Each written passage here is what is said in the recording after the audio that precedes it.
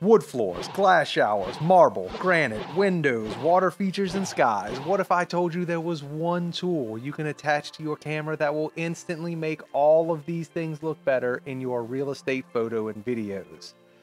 The very crucial yet always overlooked polarizer. It's a really cheap attachment, and by the end of this video, hopefully I'll convince you that you should get one for your real estate content creation. Let's get into it. All right, so as I mentioned on the top, these polarizers are incredible tools for real estate photography and video in particular. Not only are they incredible tools, after you use one on a shoot, you'll probably consider them a mandatory tool, and that's why I'm digging in deep for this video in particular. I'm gonna cover seven different places where this polarizer really helps for real estate photo and video in particular. And maybe, like I said, by the end, you're going to go out and get one. What's really cool about these polarizers is they actually kind of change the way the light enters the front lens. And so therefore, we're going to start with the most popular option for a polarizer, and we're going to start with the exteriors. The first thing I'm going to talk about is the sky. Now, as I mentioned before, you can take these and rotate them around to change the direction of light. And how this really helps, especially on these bright sunny days, it is allows you to darken the sky to match the shadowy grounds underneath to get a more well-rounded and better exposed image. And that's why these things work really, really well for exteriors. It allows you to take that blown out bright white sky and turn your polarizer a little bit to get something that looks more like a deep blue sky.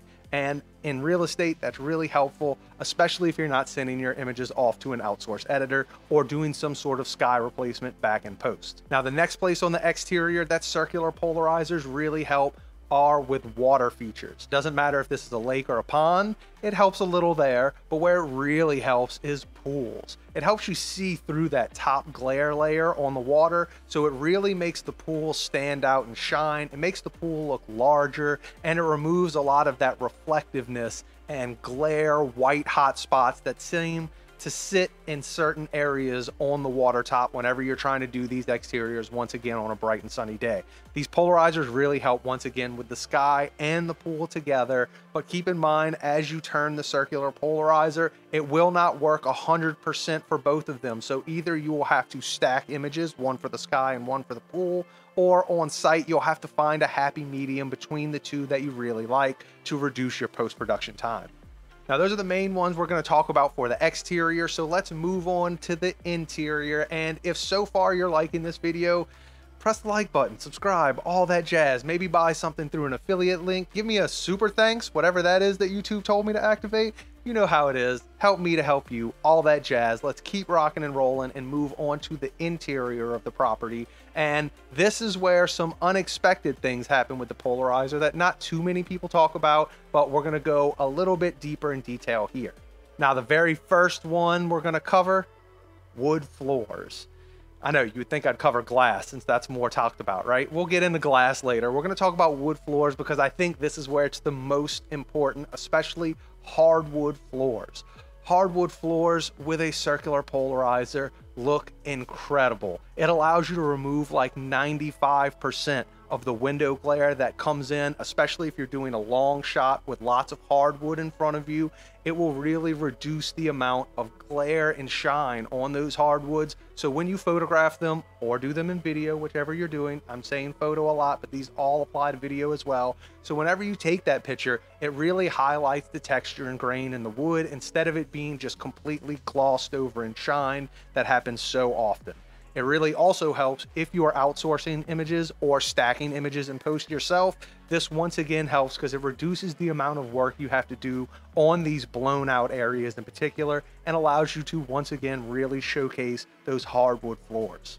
And the next one we're going to talk about is go ahead and talk about windows. Now, just as I mentioned with the exteriors, when you're talking pool and sky, or I did those backwards, right? Because the pool's on the ground and the sky's up here. But when you're talking pool and sky, you'll either have to take two different exposures, one for each, or find a happy medium And that goes the same for windows and floors in a house. If you have a house with a lot of hardwood floors and a lot of windows, either you'll have to take one that uses the circular polarizer in its best position for the windows, then find the best position for the floors and put those together in post, or once again, you can find a nice happy medium between the two.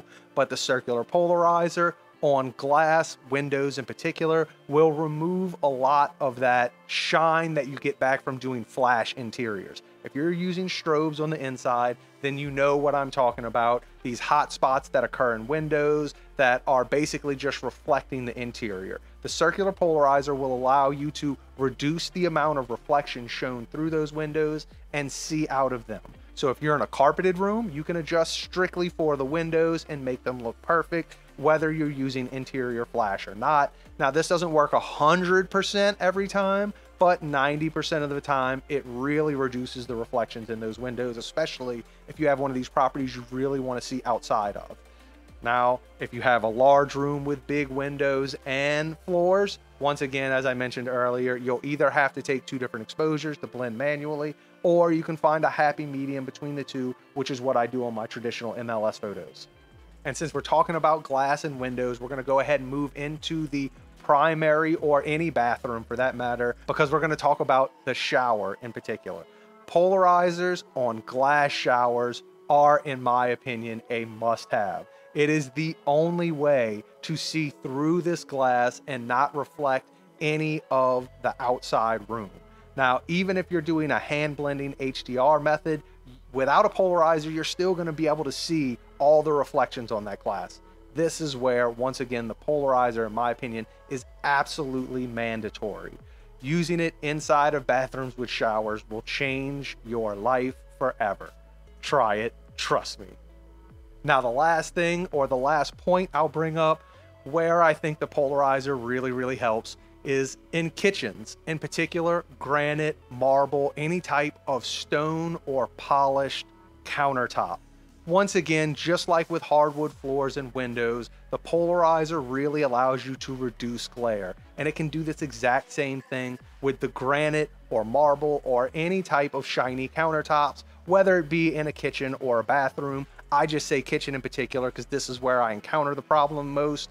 Kitchen's countertops seem to get the big glare off of those back windows, and shooting with a polarizer can really reduce the amount of glare on that, especially if you're shooting something white, like a white granite or marble. Using a polarizer will allow you to pick up a lot of those finer details in the marble and granite work that otherwise would probably be impossible to see.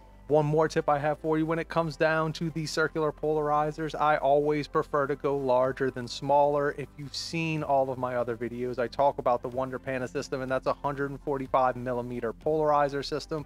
The reason I prefer this is because you can buy step up and step down grades, so you can put this one filter on every lens without having to buy a whole bunch of different polarizing filters for every lens you own. Another reason I like it is because when you show up on property with this thing, agents and homeowners are like, wow, that guy's here to do business. You're just showing that authority because for some reason in this industry, the larger the gear, the more professional you look.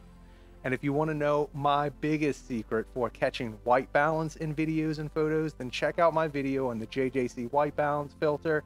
It really changed my life. As always, keep rocking and rolling. Enjoy what you're doing, make smart business decisions, and go get yourself a polarizer. You'll thank me in the end. Catch you next time.